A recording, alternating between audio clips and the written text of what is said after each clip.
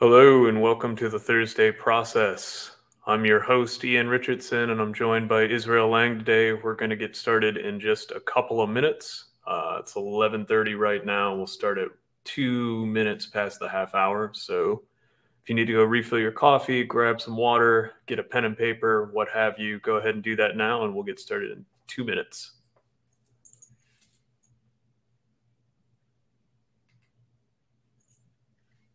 You at home right now, Israel?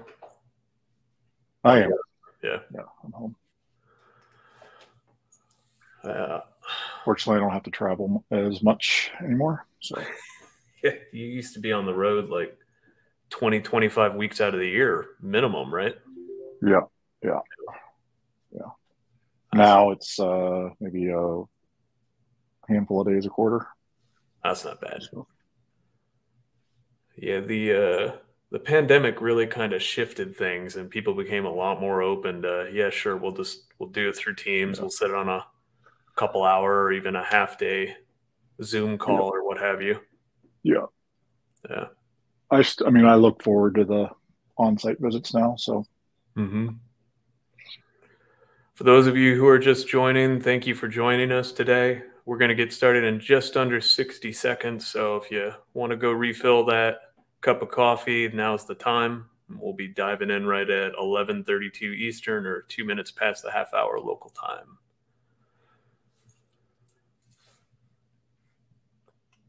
Yeah, it's fun to go sit in a room with people these days. It's so abnormal that it's like, "Oh my god, people." Like that uh right, that comic where uh, the person was excited to get an email back in the 90s and now you're excited to get a Right. letter. yeah, All right. It's two minutes past the half hour. Let's go ahead and get started. Hello, everyone. Welcome to the Thursday process. I'm your host, Ian Richardson. I'm joined by my friend, mentor, colleague, Israel Lang, and excited to have you here today. A Couple of uh, top of the show items. A quick disclaimer the presentations on Thursday process are intended for educational purposes only.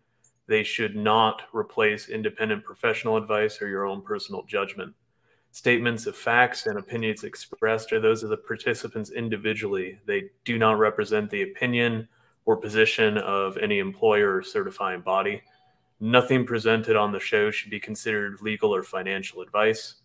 Also, a note you may be watching this on demand. Today is March 2nd, my son's 12th birthday. Happy birthday, Desmond.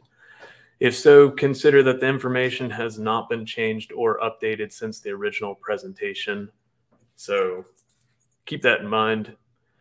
Quick little bit of housekeeping. You'll see the question and answer box up in the upper right hand corner. As you have questions, go ahead and send them out. We'll go, we will answer those live throughout the show and we'll have a little bit of space at the end for any final questions. Uh, there are polls throughout the Thursday process. They'll pop up on your screen. They're pretty straightforward, pretty simple polls. And when you answer those, that helps us steer what we should talk about next. So definitely appreciate people's participation in the polls. We do look at those reports, and that's how we recruit future future guests for the Thursday process. Last but not least, you'll see the handout section up on the right. That's where you can download the process we're talking about. If you're following along, I will try to call out points in the process as we cover them, but go ahead and download that now so that you have it. Without further ado, a couple introductions. I'm Ian Richardson. I'm one half of Richardson and Richardson, along with my wife Carrie. I uh, ran a MSP for 16 years, sold it then to 21, and co-founded this uh, this operation to try to help out other MSPs and software vendors in the channel. And I'm joined by Israel Lang. Israel's been in the channel for 25 years and uh, has worked for a variety of organizations, including ConnectWise, the ConnectWise, the software company, HTG peer groups, multiple MSPs at the local, regional, and private equity national backed level. Israel, how's it going today? And uh, what are you focused on this week? uh, uh, this week is going great, Ian. Thanks for having me. Appreciate the opportunity to kind of hopefully share a little bit of wisdom and a little bit of knowledge collected over the last uh, few years and over my career and mistakes that I've made. Uh, this week, I'm focused on hiring some key roles for some of the clients, uh, some of the organizations I'm working for, um, and just helping clients move or the organizations. They're not really clients because I'm embedded in them now. Um, move their organizations forward, uh, meet their goals, uh, moving forward. Love it, love it.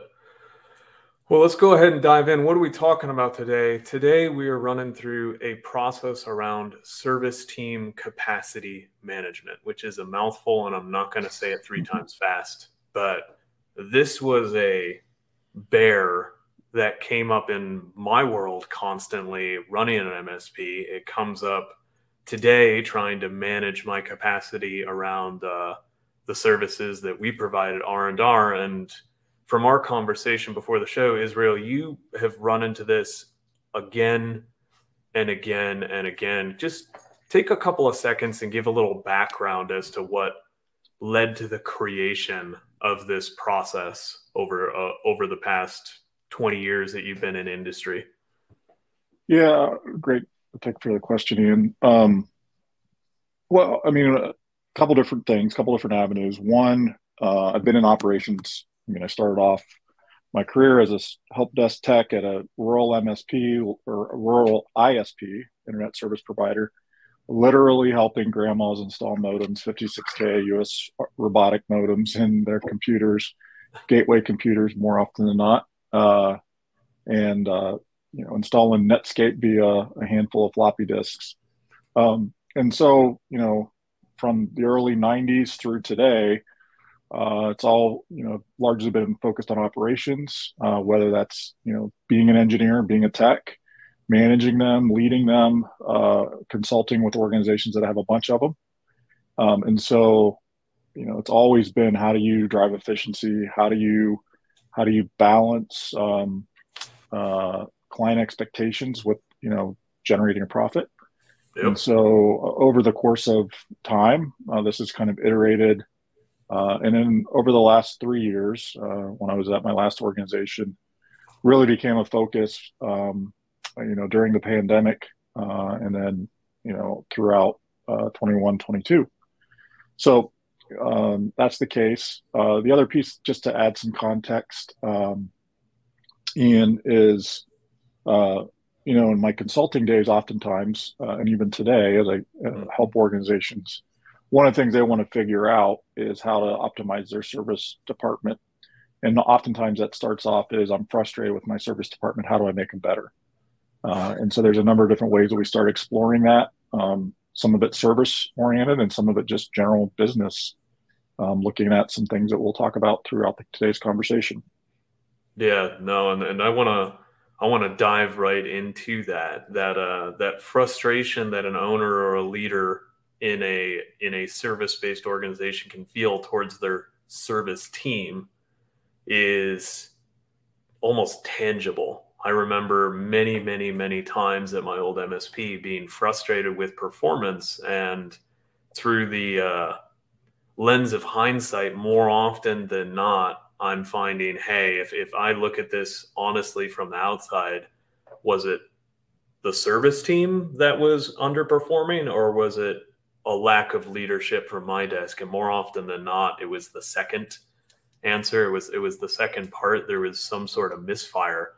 So, looking looking at the process, step one you you mentioned around collecting data and grabbing different data data through how many tickets are coming in, how many incidents are coming in when you're busy how much time are you spending on them but walk me through a little bit of that data collection but also if if you wouldn't mind just spending a couple of minutes on maybe helping how you've helped other leaders do a bit of self-reflection or self uh, self-analysis as to root cause of that yeah. frustration with service teams yeah um, so oftentimes when an owner you know in a in a you know, probably five million, mm-hmm. um, up until a five million dollar organization, and then some type of service leader or operations leader past that point. when they reach out to me or, or, we have a conversation and they're frustrated about service delivery, um, you know, my my first comment back to them is, I'm I'm happy to help you improve service delivery. Um, that being said, we're also going to have to look at some other business practices. Mm-hmm. And what those business practices are is I really want to see their agreement. Uh, I want to understand, you know, are they requiring their customers to their clients to have get on a standardized stack? Are are they discounting? You know, what's what's their normal rack rate or per device per user rate, and what percentage of their agreements uh, are discounted below that standard rate? Mm-hmm. Um, and and and then you know what type of technology are they allowing to be in those uh, customers um, environments? Uh, because typically it's a com it's never it's normally not all or one of those things in particular. Like it's not just the service delivery or lack thereof. It's not just how your agreements are structured or what you're allowing into environments. And it's not uh, and it's not just what you're discounting it's it's it's a combination of all three but it, it's pretty um it is all three of those things right so yep. um, oftentimes what i first see is i see like they're they're doing heavy discounting um and and oftentimes the that that's compounded by they're not on a standardized stack or they're doing lots of one-offs mm-hmm. and so what that creates from a service delivery perspective um, uh, is it creates challenges because the their the, your service team is supporting a lot of different technology. And oftentimes that technology is broken and they're or, or outdated. And uh, then and, and they're doing it at a discounted rate. So you compound all three of those things together and you have eroded margins in pretty pretty considerable fashion which then leads you to go like why does my service suck so bad? Yep. so in digging into that, that's like kind of the first thing that I want to look at and really get some common understanding around and and and present uh, and make sure that everybody understands that's going on in the world. And, and let's let's level set. Let's make sure that we all have common expectations and, and we agree on, given these set of circumstances, uh, what what can be an expected result. What does good look like in that scenario? What's the plan to move from where they're at to where they want to be? And that yep. includes the service delivery component. So let's move that over to our process, the process we're talking about today. You know, one of the first things I want to know, you know, I'm hoping that your phone system can kind of collect data to understand when your phone call, when your phone tickets are coming in. Yep. Obviously, we're going to be able to track a lot of that through uh, email, through your PSA as well. And then you can start seeing some busy hours. Um, you can start seeing, hey, at you know Monday, from 9 a.m. till 1 p.m. is typically the busiest time for yep. tickets to be generated. So, what do we need to do? Well, in some instances, in smaller MSPs, it's like we're not going to do any project work on Monday. Monday is going to be ticket triage, ticket work, ticket closure. Let's make sure that we're not in a deficit um, coming out of Monday.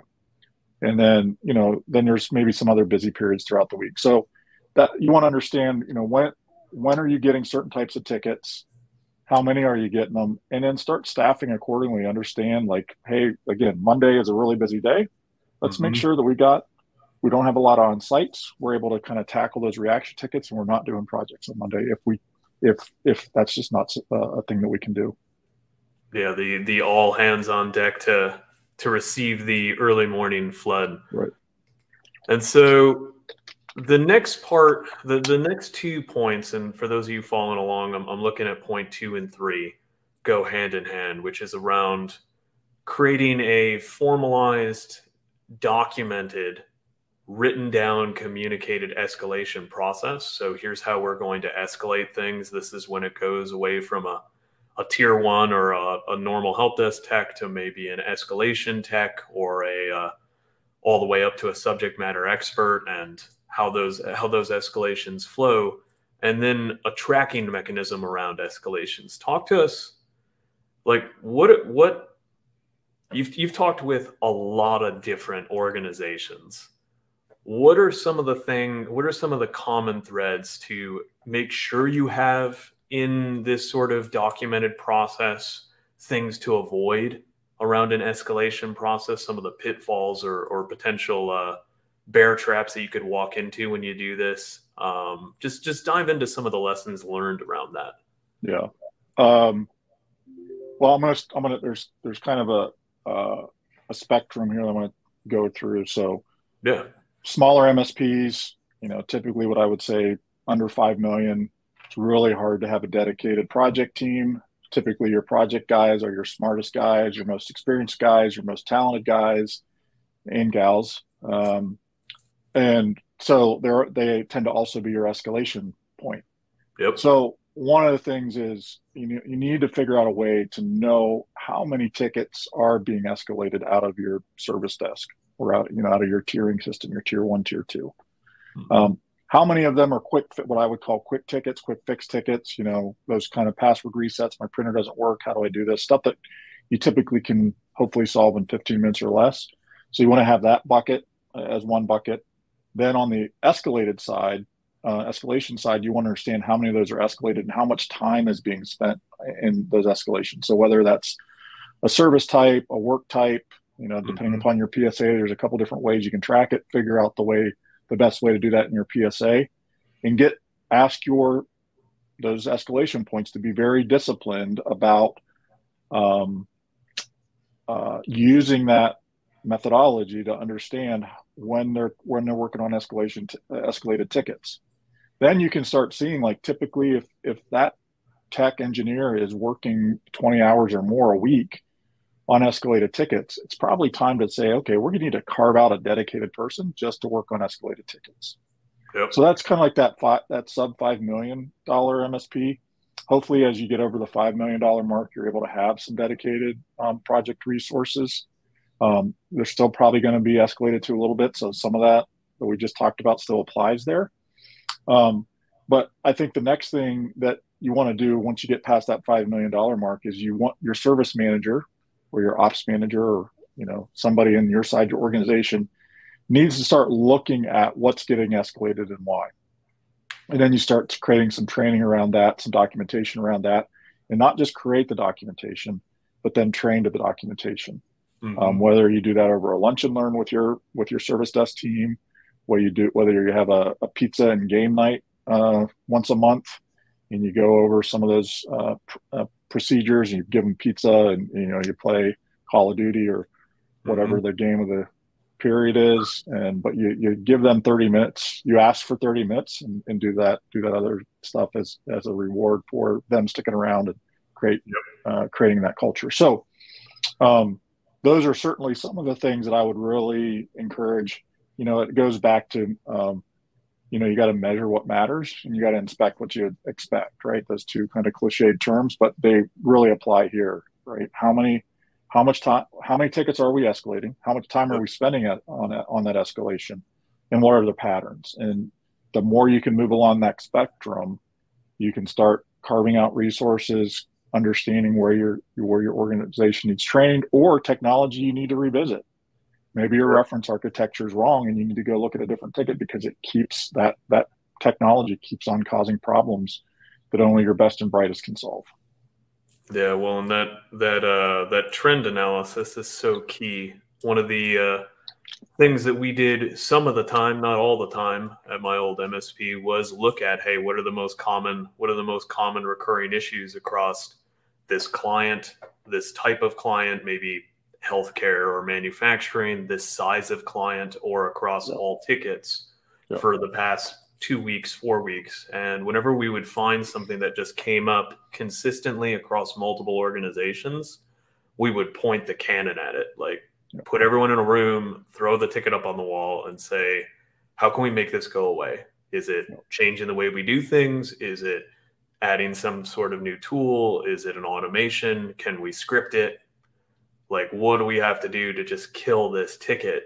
And it didn't work all the time, but maybe 40% of the time we would find some way to eliminate that workload just by putting enough brains on it and saying, all right, we're going to spend an hour with four people in the room. So we'll spend four hours of payroll to kill this thing, and then it's never going to come up again. Yeah.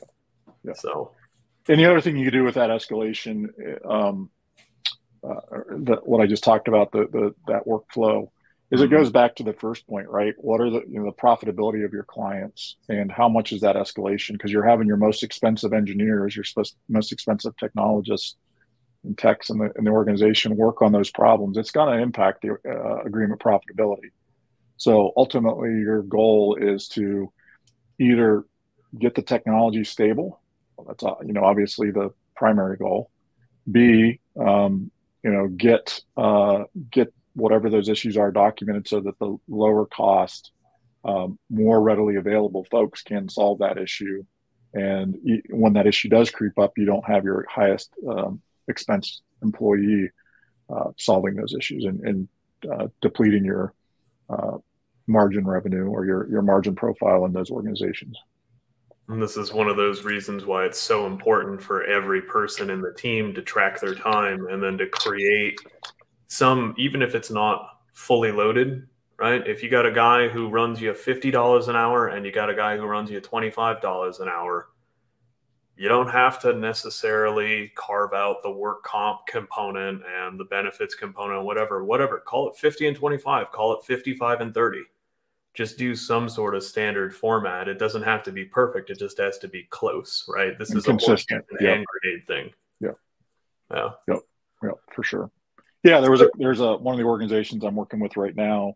Uh, mm-hmm. Uh, this kid, this came up because uh, they had, they hired three new folks and they didn't put their, burden cost in the PSA, and so we went to run some agreement profitability uh, and and margin stuff, and, and uh, fortunately, we were able to quickly pinpoint the uh, the issue. But you know, it showed up in the reports, and it was like, why did this stuff drop up? Drop, you know, bump up so quickly? Well, we had zero dollars in for those employees that were working a lot of those tickets. So, uh-huh. which is which does not exist. Yep. there is no free labor. Yeah, it was. I mean, the profitability reports, customer profitability reports through MSP CFO, you know, were showing one thing. What we were seeing in our financials was another, right? Because those costs were getting loaded in, so yep. they were showing up in the P and L, but not showing up in the individual agreement profitability reports. And so, part of that process, and moving on to kind of point four, is is defining you mentioned those quick fix and immediate escalations and all of that. And yeah.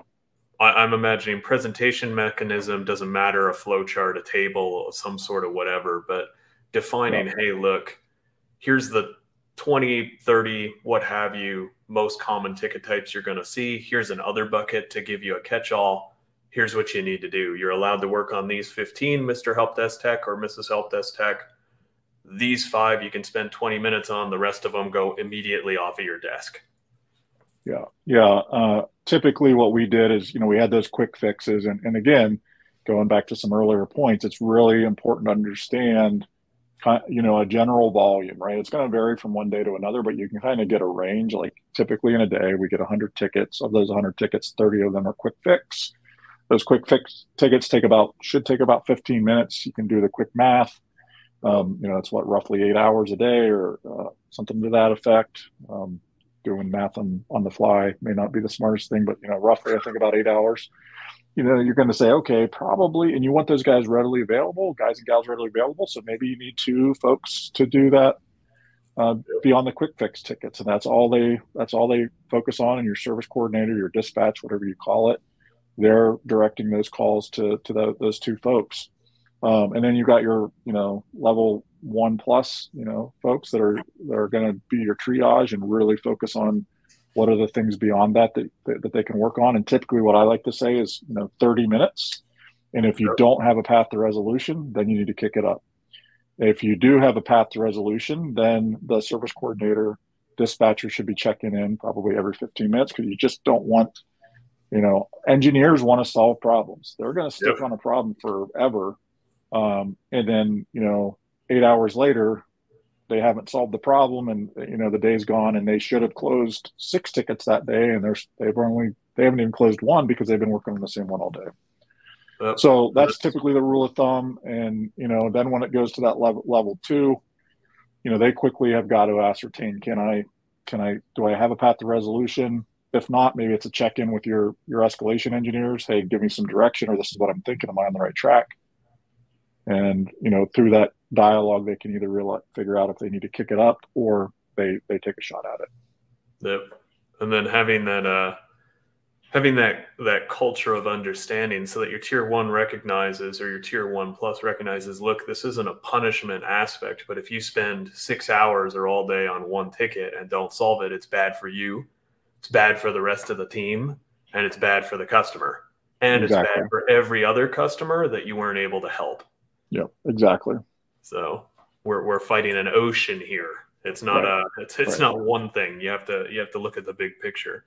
Exactly. So looking at some key metric you, you create some key metrics. Some of the areas um, that i think is going to be really important to spend a little bit of time on is we, we talk about in the documentation in the process creating a blended average to be closed by your service team to create a goal for hey this is how many tickets how many incidents should close per day and then a goal around days tickets outstanding or days incidents outstanding. So how many like a numerical representation of tolerance carryover, right? Because not every ticket that comes in on Monday is going to be closed on Monday. Sometimes it's Tuesday, sometimes it's Friday. Sometimes which like it's horrible, but it's two weeks down the road.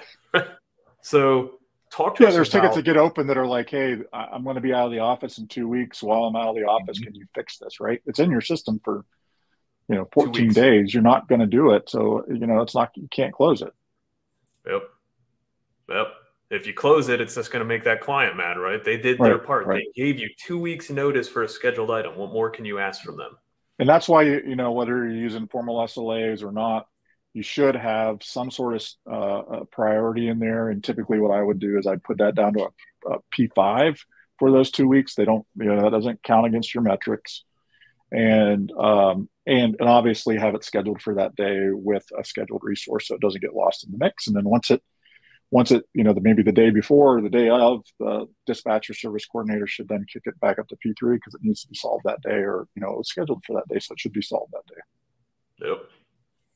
And so when it comes to incidents outstanding, talk to us about creating a number bait like a, a sane target for days yeah. days tickets outstanding. Yeah, I mean it's going to be different for everybody. At least your yep. starting point. I think the end point. Um, you know, I will talk about what I think a good what good looks like in that. But you know, uh, there's been organizations that I've worked for, and uh, should probably start talking. Start off by saying what what does that DTO, as I call it, days tickets outstanding, or DIO, I guess, days incidents outstanding mean. Um, so essentially, for easy math, let's say you get 100 tickets in a day, yep. and what's on uh, what's on the backlog uh, is 200 tickets, right? So there's 200 tickets in the system, 100 tickets come in a day. Your DTO to your DIO is essentially two, right? Two yep. times the number of tickets that come in a day are on the board. Um, for some organizations, you know, I won't I'll spare I won't uh, provide names to spare the innocents, but you know, coming in, those numbers can be, you know, 14 days. You know, yep. big, big, big numbers, right? Um, and we're not just talking about them having 100 days or 100 tickets a day. They're maybe having 200, 300 tickets. And so, I mean, these are big organizations, so it, it can get pretty massive and, and pretty quick. So, in those cases, you got to you can't immediately go from 14 days of tickets outstanding down to down to two so, you know, normally I, the second part of this math is, um, uh, again, for, for easy, uh, for easy math, let's say you have 20 techs. So on a normal day, they need to close five tickets a day to kind of keep up with the backlog or keep uh, current, right? If you got 20 techs, let's, and you've got this huge backlog, you've got to figure out a way to, you know, challenge them to say, hey, on average, there's some that's going to be way lower than this, some that's going to be way higher than this. We got to get seven tickets done a day or six tickets done a day. So that one extra ticket a day, of course, uh, uh across the course of a week, got 20 people. They're doing one extra ticket a day. That's 20. That's 100 extra tickets. So they're every week. They're not only they they hopefully are not only closing that week's worth of tickets, but they're clearing another's day worth of backlog. And so you kind of create this goal that, hey, in the month of March, if we do this, we're going to move from 10 days tickets outstanding down to uh, six days of tickets outstanding. We're going to continue that process into April. And then in April, we're going to move from six days outstanding down to two. Yep. And then the goal is, is I want to get like two is like kind of like the, the yellow zone, right? For me, you want to drive that down to probably one or under because again, you're going to have tickets that are waiting on vendors. You're waiting on the client to, to, to call back. You know, you got to roll a truck to replace something. There's going to be stuff that, that, that um, gets impacted there. Yep. So two is kind of like, you know, we're marginally okay. One is probably, you know, we're, we're get, we're approaching great. And in anything, if we can get to under one, we're in good, good, good position. Um, yeah, you're, now you're getting that feedback that says service was so fast, fixed it so right, fast, which right, is a magic. Right, that's a magic phrase. Right, right. You're on. It's almost like you're solving tickets in real time at that point. Yep. Um. Uh, now, what that what that does, this is an unintended consequence, is it creates a what I call a false work rate. Yep. Right now, you've proven to the team like five tickets. You know, while we said five tickets was like ideal, we we've shown we can do six. Now, what I what do you do with that, right? Well, now you've created some artificial capacity or real capacity in the system. Now you can go out and get more, you know, ideally get another client or two and, and not have to fill more people in. And then, you know, key key here, reward those folks that are there, right? Mm-hmm. Give them a little bit of pay bump because they're actually doing more. Share the wealth with them. Um, but the, the other point that I want to make is in between the time that uh, you get the tickets down that low, where you where it's a reasonable place or an ideal place, in the time when you fill that capacity back up, what do you do with that work rate? If you don't, if you don't do something to artificially create that urgency again, yep. people are going to drift back. And now instead of closing six tickets, they're going to go, we only really need to close four. we're still be underneath the metric. so what I suggest is, you know, in a scheduled sort of way, pull people out, put them in training. Everybody, uh, you know, one of the biggest things we always hear as leaders in MSPs is, hey, you want me to improve my skills? I don't want to, you know, there's always this tension between do I do it on the job or do I do it on my yep. own time? Uh, and I, the answer to me is yes, right? It should be both. Doctors, when they're you know they get paid to learn and they also while they're while they're working and then they they also take time outside of uh, the job uh, to to continue to improve their skills and keep current on, on things. So um so pull them out get them into microsoft training get them into meraki training get them into you know my, uh, microsoft 365 training get them into help you know give them a project to figure out how to use Intune Zero Touch to roll out PCs, whatever those things are. But be very disciplined. Give them a goal. Pull yep. them out for a week and say at the end of the week we need this set up, or maybe you need all your documentations um, uh, uh, redone. Pull them out. Give them a yep. checklist that they're going to go through and make sure all your documentation is update updated and current. Create that artificial work rate so that everybody continues to kind of say, "Hey, blended average six a day per tech. We got, you know, before it was we had 20 and we needed to close 100.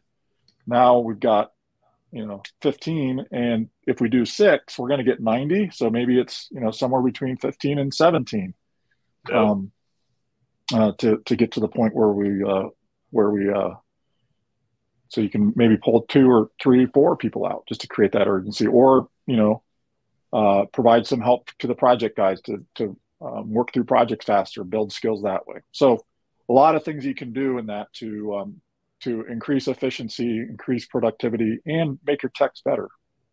And really, what we've what we've been kind of exploring with that conversation is point eight around. This is that, uh, and and the way it was you phrased it uh, in the process is is beautiful. Really, it's a culture of working during the workday. And so by by creating that space and and by by artificially by by creating the urgency because hey this resource is out they're doing training and now they're back in and this resource is out and they're doing training and now they're back in or doing a project or whatever you create this culture of we need to when we're at work we need to be working. And that doesn't mean that everyone's like a, a dilettante right? Like we're not we're not yeah. just sitting there and, and robotic mm. we can have a fun culture. We can enjoy the office. We can enjoy work. We can enjoy our team. But we are there to work first. Yeah. Right? Yeah let me let me pause put a pin in that real quick uh, ian because i think it's important.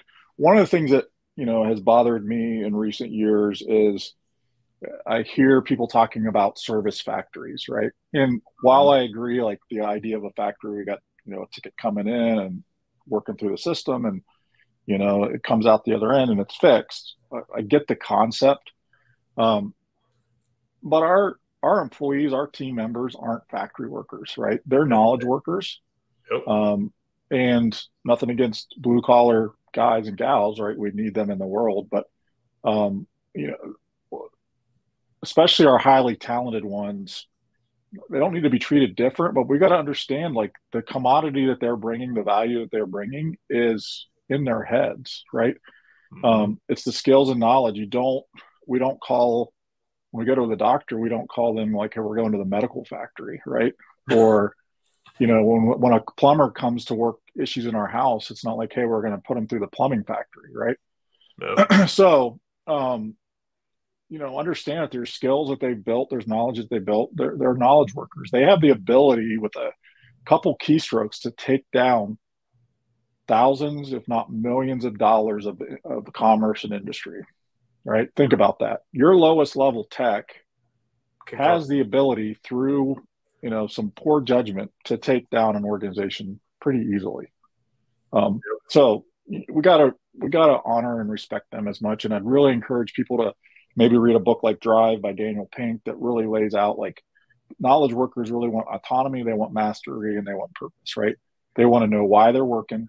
They want a skill that they can master, and they want to kind of be left alone. Now, as business owners as leaders we got to find that balance and there's a whole nother conversation around how do you how do you build up to giving somebody autonomy right how do you um, mentor them lead them to a point where um, you can delegate those tasks and, and know that they're going to be accomplished the way you want to be accomplished but uh, i'd encourage you to your you know the folks on the call uh, in the webinar today and people that are um, watching this in the future, you know, pick up that book, understand what motivates your uh, your team and your knowledge workers. Yeah, and creating that. Uh, the um, I got a piece of advice many years ago from Arnie Bellini that really, when when once you get to a certain size and you've started being able to delegate to individuals in your organization and trust the tasks are being done, that an entrepreneur, a, a leader in the company's key role is cheerleader and yep. motivator and communicator in chief, really. Yep. Uh, and, and, and Arnie used that term directly to me saying, get used to being a communicator in chief first. Everything else is secondary. Because if you're able to, to instill that, here's how you're making a difference, help desk tech. Here's how you're making a difference, professional services engineer. Here's how you're making a difference, even account manager, whatever, what have you that that reinforcement of the of the individual and the team and the organization's value to the community as a whole gets everyone else juiced and when your team's juiced that's when the magic happens. Yeah. Quick story around that ian just to, to kind of give an example. Um, I, you know i was leading a pretty large team and we were having some discussions around this. And uh, one day uh, uh, one of our clients was a which was a pretty big uh, title company in the area that uh, we were at, uh, who was a client, uh, they had an outage. They were a client of ours. They had an outage mm-hmm. to the mm-hmm. point where they couldn't print uh, the loan forms or the closing forms to to close things out. Yeah. Next day, uh, we're on our huddle, and um, one of the guys says, "Hey, what happened yesterday? I was at title agency yesterday trying to close on my house. They had to move they had to move my closing till you know two days and whatever to move it out because you know they were down and they couldn't do the job that we were doing. And that gave us an opportunity to go hey this is why that's important right? There wasn't just bob who was there to close that day. There i mean it was a large title agency. There was 50 other you know, couples, families, individuals that were there hoping to get into their new house or sell their house that day.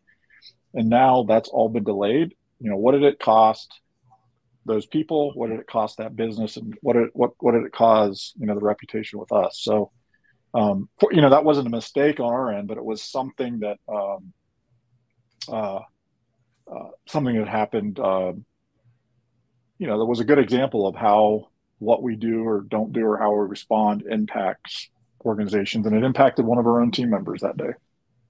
Yeah, and creating that that that scope of impact so so so so key. And so looking looking at kind of management. And so for those of you following along, just down to the management section, the KPI section, this is um, I would really really encourage everyone if you read no other section of this document take a look at these two areas. Um, but let's talk about these three questions that uh, that that you mentioned around reflection questions for for for a leader and for an organization to look at. And I'm just going to rattle off the three questions, which is, do you have the right type of clients? Meaning, do they do they fit that target client profile? Are they bad fit clients? Do they do they honor process? Are you charging the right amount? And that's really a, that value conversation versus price conversation. And then the last question is Do you have a deficiency or a gap in your service team? Can you spend just some time to, to talk about those three questions? Let's, let's start with the right type of clients. Like, how can you reflect on your client base honestly and say, like, are these the right type of clients? Yeah. Um, well, hopefully you're doing some tor- some type of business review, whether it's a QBR, a TBR, an XBR, you know, whatever ABR, whatever BR you're talking, right? But a business review with them, and and it's not just showing up and saying this is how many tickets we closed, uh, mm-hmm. uh, this is how much, this is you know the amount of spam that we filtered out, these are the number of viruses we caught, right? Hopefully it is actually a business discussion and not just uh, let me tell you what we did for you to kind of discussion, and so in there are recommendations, right? A good client that values technology is generally either A, gonna gonna do the majority of the recommendations you suggest, or B, you're gonna have at a minimum really good conversations around that. And there might you might need to explore some alternatives or figure out some creative ways, whether it's financing or other things, to make that stuff happen. But they're going to be open to that. Yep. If they are just kicking you know a bunch of technical debt down the down the road they're not a good client. They'll never be a good client. You know there's uh, this was you know probably close to 10 years ago I, w- I went in a sales guy was super excited. He thought he had a really good prospect. Um, you know he he brought me along to uh, kind of do the pitch and and hopefully close the deal or at least you know get agreement in principle. Um, and um, i uh, Hang on one second.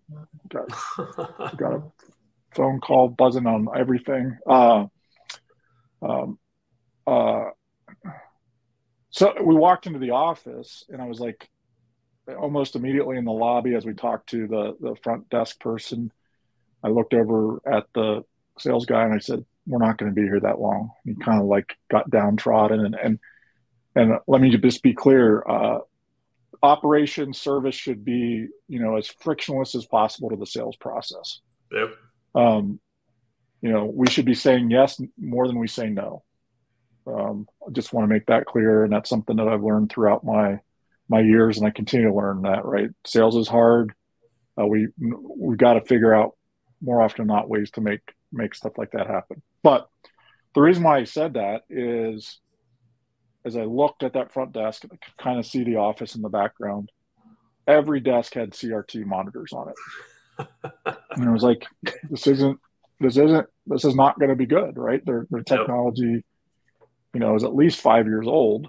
Um, so we went in and I got to a no really quick, right? And not a NO, but a KNOW. Like I knew like this was not going to be a good fit, right? They, they wanted a cheap, um, they want the, they wanted the cheapest. They weren't um, concerned about technology.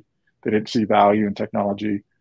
Um, technology to them was an evil to be you know minimized. So nope. those are some very quick ways that you can kind of uh, figure uh, figure out whether or not um, they're the right client or not. Um, is those kind of things, right? You know, are, are they taking your recommendations if they are an existing client?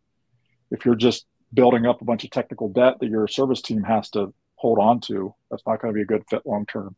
Whereas a prospect, if they're on old technology and aren't willing to entertain the idea of a big project on the front end of that to get get that out, again another warning sign.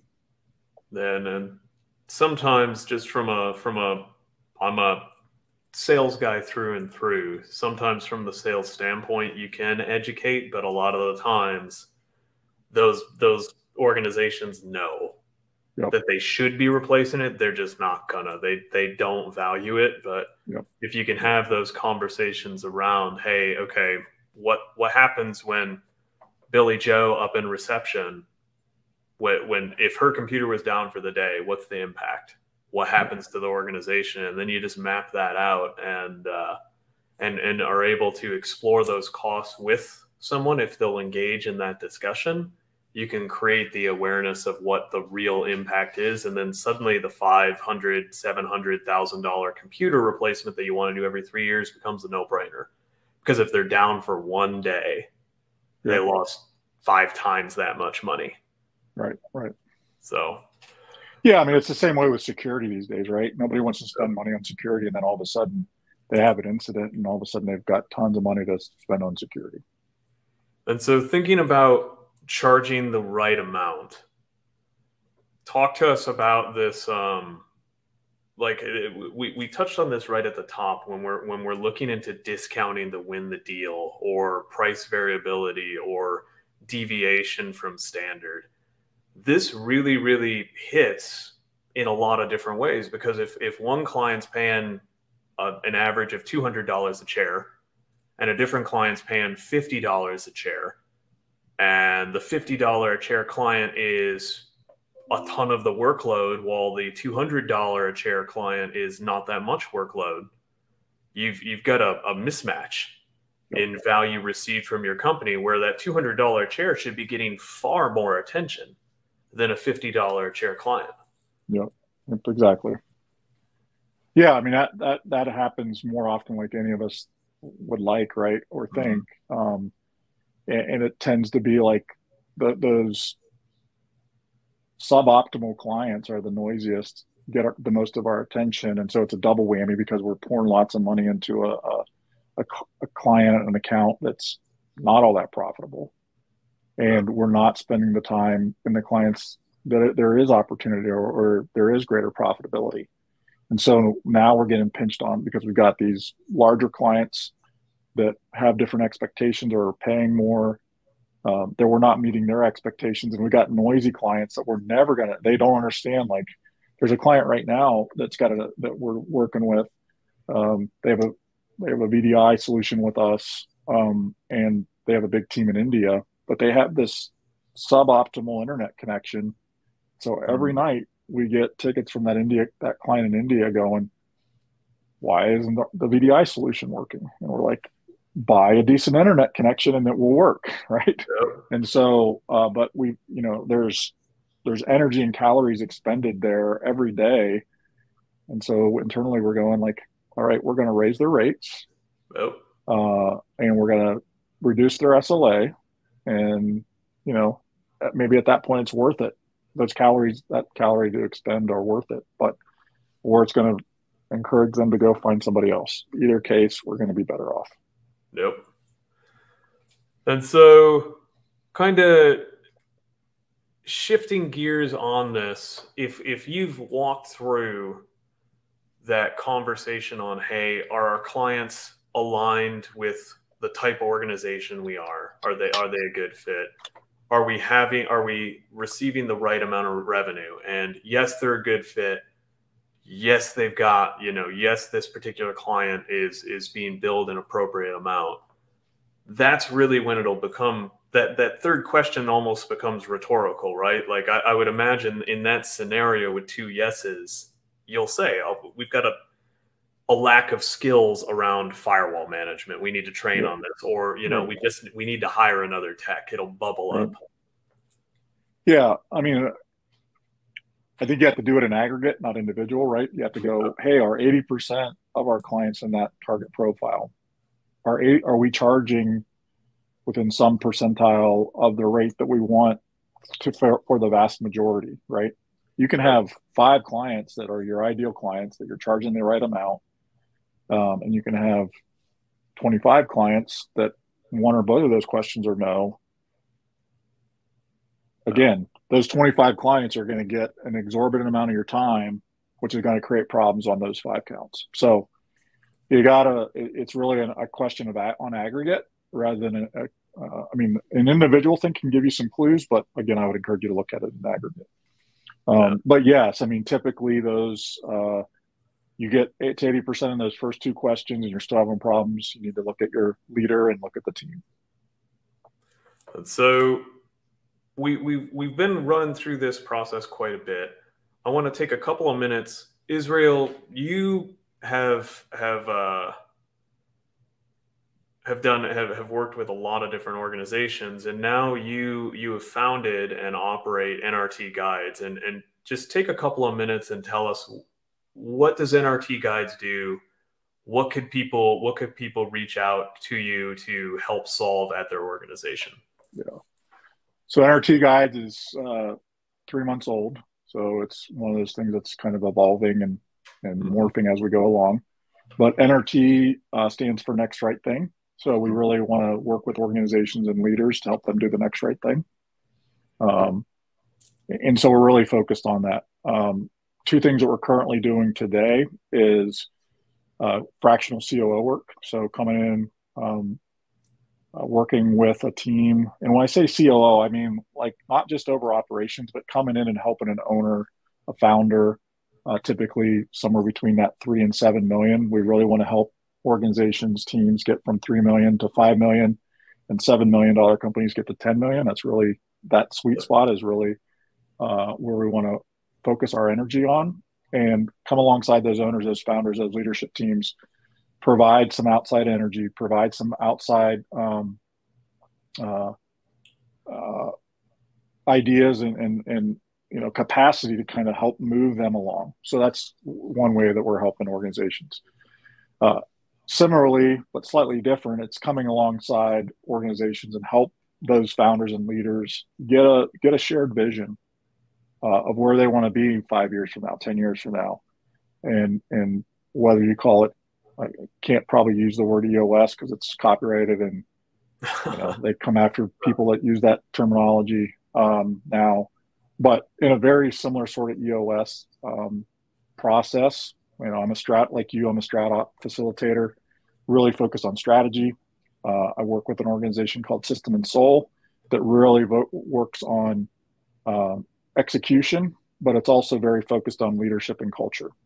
Um, so those are the two areas that uh, we're working on today. I am building a team. I've got a, a, number of former owners and other folks in the industry that are like, "Hey, we we're interested in what you're doing." Um, I, you know, I'm pretty much uh, uh, full up capacity wise now. I'm grateful for that, but I still have people coming out, coming, and reaching out to me, and so I'm kind of being this uh, coordinator of, "Hey, I've got this business owner that really helped scale his organization from three to seven million and exited." Let, us get you guys connected and he can help you with those processes. So that's probably going to be the next iteration is i'm, I'm slowly building this team around me to, to help uh, more organizations that i can do myself. I love that. I love that. So taking a taking taking a quick moment to just remind everyone hey if you if you haven't downloaded it yet go to the handout section, grab the process document that we just that we just ran through. There's quite a bit of meat and potatoes in there. This is this is a heavily valuable process. And let's just let's take a couple of audience questions. And I've got one here. And Israel, uh, the, this member asks, that you know it sounds like you've worked for a lot of different organizations which is true i, I, I can say that you've you've worked for founder led companies you've worked for regional providers you worked for private equity organizations and everywhere in between what's the take on current industry trend where yeah. like what, what's happening right now in the space and where's it headed Yeah. Well, I think private equity is, you know, is kind of where it's at today. Mm-hmm. Uh, you know, everybody's focused on that, and I think that's as a result of, you know, some some of the original TSP, MSPs, whatever that that owner demographic getting to a point where they're thinking about retirement and trying to do what's next. Um, uh, and and some of it's just you know some of the crazy multiples that uh, PE guys are offering. Mm-hmm. Um, so I sort of have a love hate relationship with PE. Uh, I love it um, because it's made a lot of my friends um, wealthy. Uh, I love it because when I was at ConnectWise and, and Thomas Thoma Bravo bought us, um, the equity that I had um, in ConnectWise helped pay for my two oldest daughters' uh, college education. So I love it for that.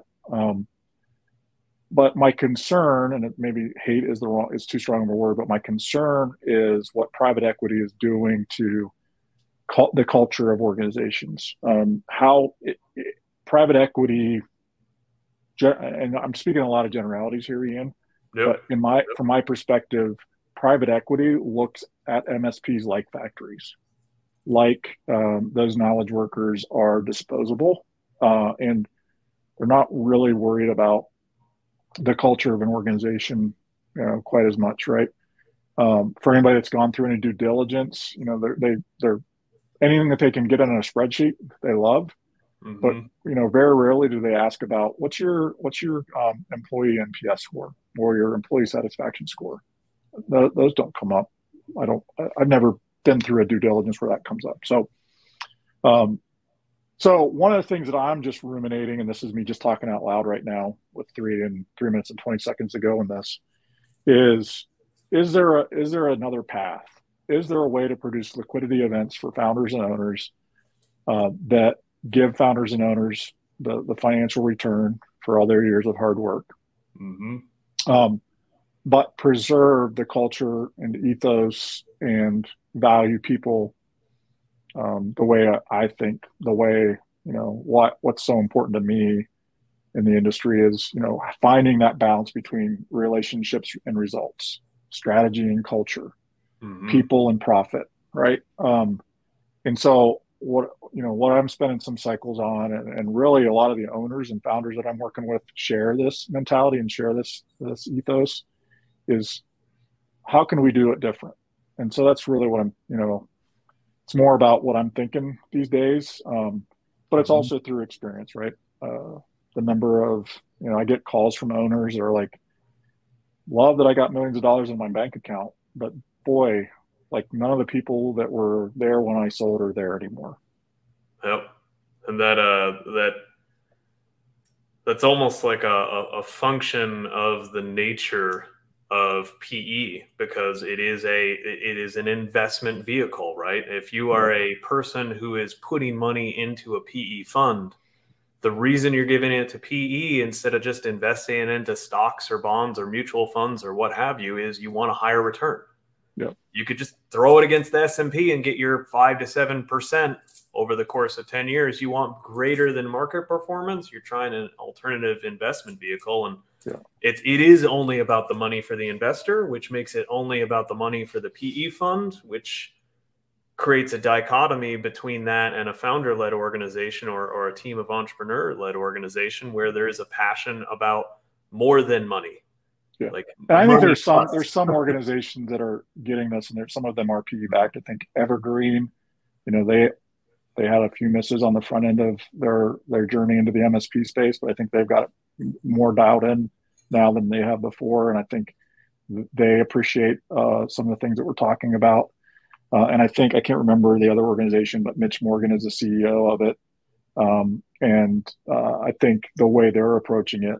Um, is closer to the kind of thing that I would like to be a part of and, and closer to my idea of again how do we how do we provide a liquidity event but also um, uh, value people. Yeah and, and create that create that space. And so israel we got 32 seconds left. What's kind of the final thought to take us all home? Uh yeah uh, measure what matters, inspect what you expect. Um, first thing is kind of understand the ins and outs, the inputs and outputs, and create some expectations around that. Make sure everybody on your team understands those expectations. Uh, reward people when they hit those expectations, and you know, be consistent in, in uh, allowing people that don't know um, they're meeting it to know that they're missing the mark.